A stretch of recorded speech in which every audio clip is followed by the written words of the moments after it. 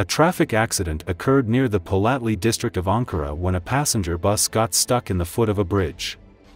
The accident occurred on the Ankara Eskişehir road in the Olukpınar village area. The passenger bus went out of control and first crashed into the barriers and then into the overpass wall. While many ambulances and fire crews were dispatched to the scene, the Polatli direction of the road was closed to traffic Ankara Governor Vasip Şahin, who made a statement to CNN TÜRK regarding the accident, reported that according to initial reports, nine people died and 26 people were injured. He reported that the bus driver was among the dead passengers. Governor Şahin said, There are no brake marks, according to initial assessments, it could be the result of falling asleep. He added that information regarding the real cause of the accident would be shared in the coming hours. Justice Minister Yilmaz Tunç announced that three public prosecutors were assigned to investigate the tragic accident in Ankara.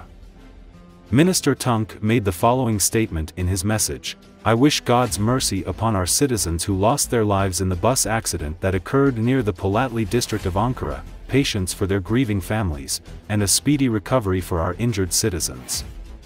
A judicial investigation has been launched by the Ankara West Chief Public Prosecutor's Office regarding the accident that broke our hearts, and three public prosecutors have been assigned under the coordination of a Deputy Chief Public Prosecutor.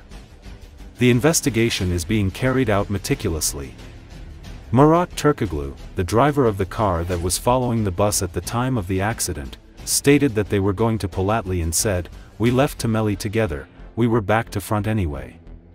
The bus was a bit fast, it started to wobble 3 to 4 kilometers before here, then it hit the bridge. Parts flying out of the bus hit our vehicle. We flashed our headlights from behind and honked the horn, but he didn't hear us.